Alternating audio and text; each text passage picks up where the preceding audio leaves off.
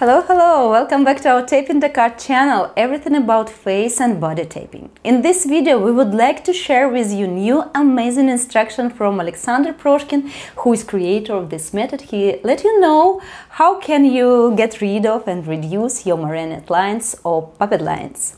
It's very simple and efficient taping technologies which allows you to support your natural beauty without any pain, without any injections. Also, it can be a great additional treatment method for another aesthetic procedures.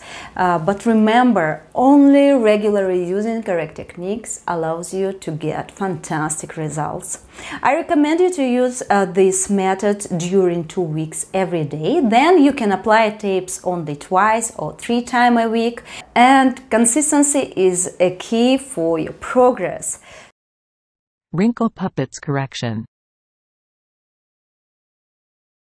Preparing for face taping. The skin must be dry and clean.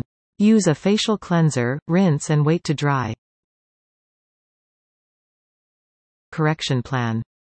First layer, make resistance taping, without tape tension.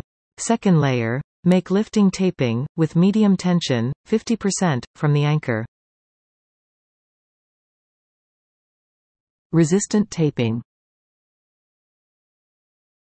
Position, lying down. The head is in a natural position, without tilting or turning.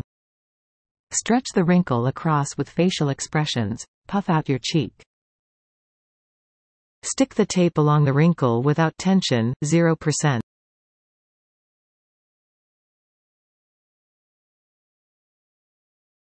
Resistant taping prevents the formation wrinkles.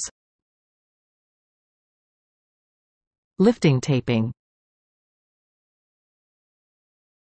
The head in a neutral position. Face without emotion. Glue the anchor to the lower outer part of the cheek. Glue the tape with medium tension, 50%, towards the wrinkles. Glue the tape on the other side in the same way. Lifting taping shifts the soft tissues of the face, straightening the wrinkle. When lifting taping, it is necessary to stick the tape with such a tension that will ensure the displacement of the soft tissues and will not provoke the formation of compensatory wrinkles under the tape. Lifting taping is carried out after the resistant one. Dokar, simple and effective taping technologies. So I hope you enjoyed this video, it was really useful for you and please don't forget to subscribe to our channel, join to us, and I hope to see you next time. Take care. Bye bye.